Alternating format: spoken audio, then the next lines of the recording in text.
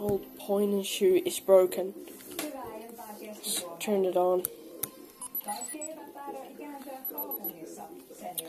The, the, the lens zoom error when we try to like freaking zoom it gives us a focus error. Damn, this was a really nice camera as well. It's, fuck this. You know what? Simple drop will do.